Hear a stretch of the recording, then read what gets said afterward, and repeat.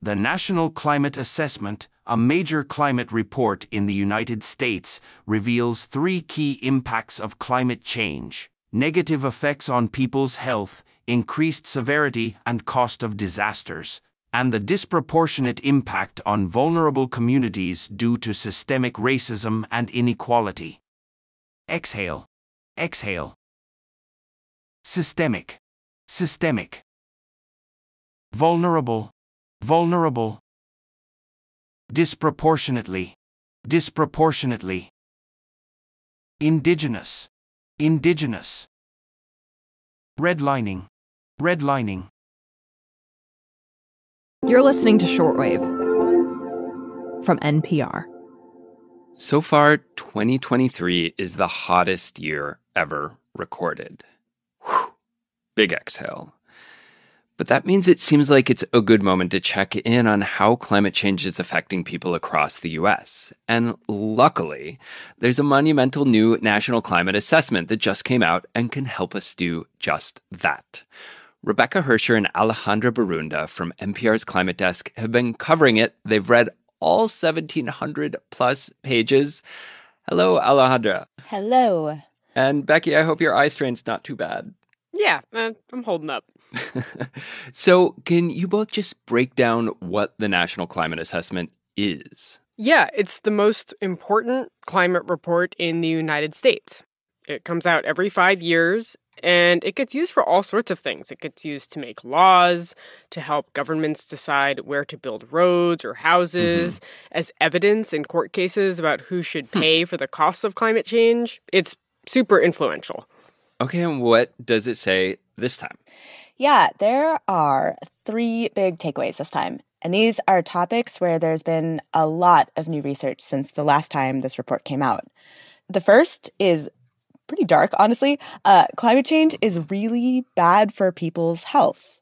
Wildfire mm-hmm. smoke, for example, it is not great to breathe that in. And insect borne diseases like malaria or Lyme, they're spreading more now, which is kind of wild, honestly. Yeah, and to say nothing about summer heat waves that lasted this year all the way into October. Yeah, exactly. The second big takeaway from this report is that climate change it's really really expensive. So disasters like that they cost us a lot of money. It's heat waves, but it's also hurricanes and wildfires and floods and droughts. They're all getting more severe. And I talked to the person who led the National Climate Assessment about this. My name is Allison Crimmins, and I'm the director of the Fifth National Climate Assessment. So I asked Allison if she had a statistic she could share, like off the top of her head, about how expensive all of these climate driven disasters are.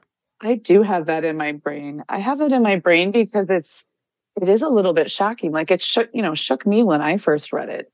The the statistic is that in the 1980s, our country experienced on average $1 billion disaster every four months. So that means about every four months in the US, there used to be a disaster that caused at least a billion dollars of damage adjusted for inflation. And now we experience one every three weeks. So it's just an incredible increase in the frequency of these extreme weather events.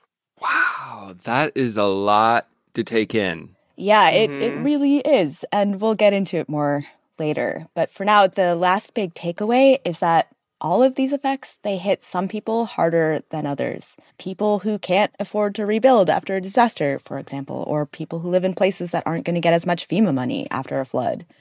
And in this country, this is all really tied up with systemic racism and historic inequality. So, today on the show, we dive into the three big things you need to know about how climate change is affecting people in the United States. And why it's not all bad news, we promise. I'm Rebecca Hersher. I'm Alejandra Borunda. And I'm Aaron Scott. You're listening to Shortwave from NPR.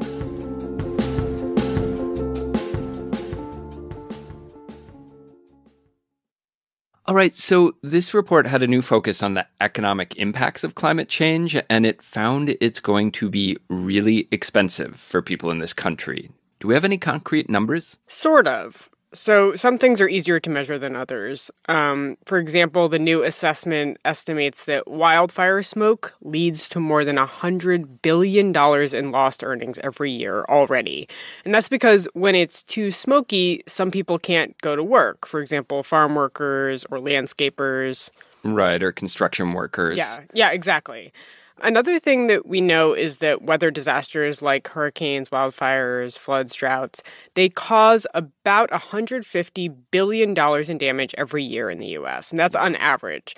Some years it's way higher, like last year. Here's President Biden in a recent speech. Last year alone, natural disasters in America caused 178 billion, 178 billion dollars in damages. They hit everyone, no matter where, what their circumstances, but they hit the most vulnerable the hardest seniors, people with disabilities, people experiencing homelessness who have nowhere to turn. Wow, $178 billion is a lot of money. I mean, that's like more than the entire annual GDP of some European countries. Uh, yes, it is. And I will not ask you how you know that. Uh, Becky, I listened to The Indicator from Planet Money. oh, yes, an excellent NPR podcast. But as the president pointed out, you know, some people have a lot more trouble bearing these costs, right? Whether it's repairing your home after a hurricane or finding a safe place to shelter from wildfire smoke or dangerous heat. Yeah. And, and just to point out, those costs, they don't even include all heat waves, first of all. And they don't take the health costs into account. So, all the people going to the ER during fires or heat waves, that's extra. The best estimates we have of the health costs from climate change are about a billion dollars a year for the US. And I'm guessing that's why the profound health toll of climate change is your second big takeaway. Yeah, exactly. And I can see why this one is probably the most surprising for a lot of people because, I mean, we see houses get burnt down, but we don't see people going to the ER because they've inhaled a whole bunch of smoke and contamination. Yeah, right. There there are just so many ways that climate change hurts people. Like heart attacks, for example, and strokes, they go way up during wildfire smoke events and heat events. It's not just like hurting your lungs when you're breathing in the smoke. Mm-hmm. And all of that too is like not including the long-term effects of these events. Like hurricanes flood people's houses, and then a couple months later, they might end up breathing in a lot of mold.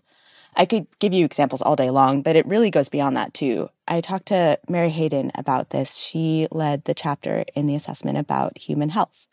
We tend to focus just on physical health. But when we talk, we're talking about flooding and displacement, when we're talking about wildfires and displacement, we're talking about people's mental health.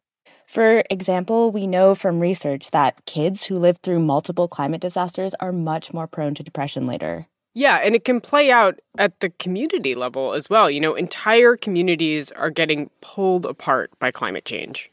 Yeah, totally. Like a big flood, for example, when people have to move away from a place they've lived their whole lives, they're losing their networks, their communities, and that's a huge source of stress and tribal communities, many have lived with and protected culturally important foods like salmon for generations.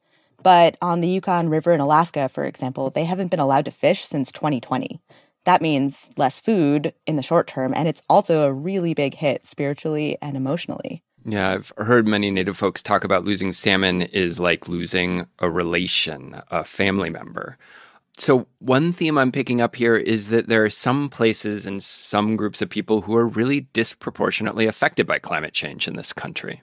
Yeah, and that's why it's the third big takeaway from this new climate assessment. And I should say, this is the first time that a federal report of this magnitude and influence has acknowledged this bluntly that climate change has these profoundly unequal effects. This, this is a big deal for this report to be saying it this strongly. Hmm. So, who then is at most risk from climate change in this country? Does the assessment say? Yeah, it does. So basically, it's people who are already vulnerable. So that's poor people, older people, children, people of color, including Black and Indigenous communities who have faced centuries of racist government policies, like restrictions about where people are allowed to live, for example. Right, through policies like redlining.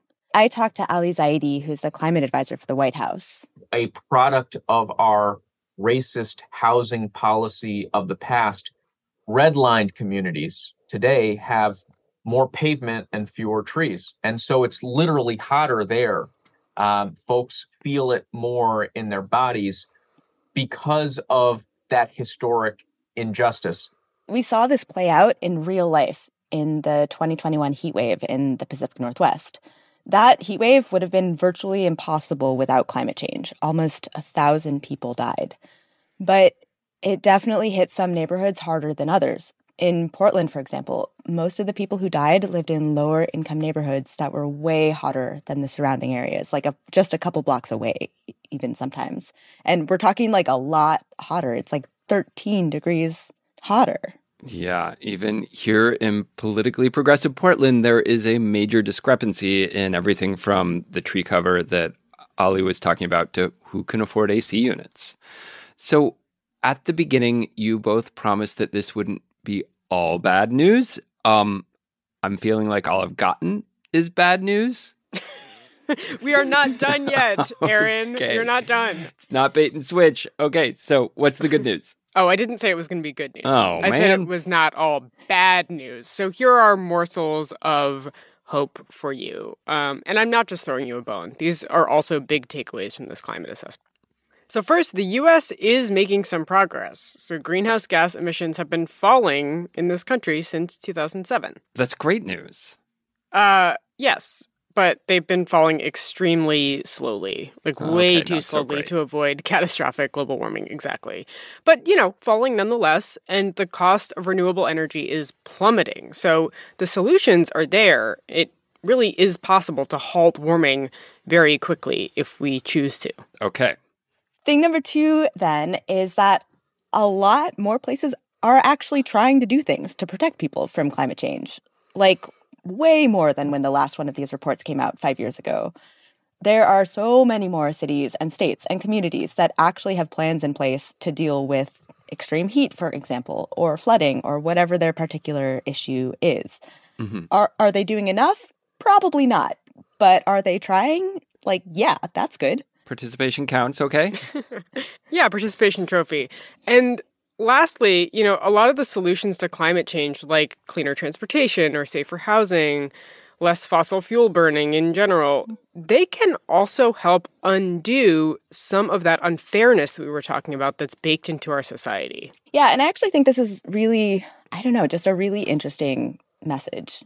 There's this idea, you know, that we there's going to have to be big change. You know, like we're going to have to change the way that we use energy, the way that we build a lot of things in this country. But with change comes the opportunity to undo some of the injustices of the past and also to make life better, not worse for a lot of people. It doesn't have to be scary. It can actually be really good. Okay, so we are making progress. We need to make a whole lot more, but we can do it if we really work at it and hold out hope. I I can take that as our closing. Um, Rebecca Alejandra, thank you both for um, reading your way through this massive report and and letting us know what was in it. Yeah, of course. Yeah, it was a lot of pages. This episode was produced by Berly McCoy and edited by our showrunner, Rebecca Ramirez. Alejandra and Becky checked the facts, and Maggie Luthar was the audio engineer. Special thanks to Lauren Sommer, Neela Banerjee, Sadie Babits, and Rachel Waldholz. Beth Donovan is our senior director, and Anya Grundmann is our senior vice president of programming. I'm Aaron Scott. Thanks for listening to Shortwave from NPR.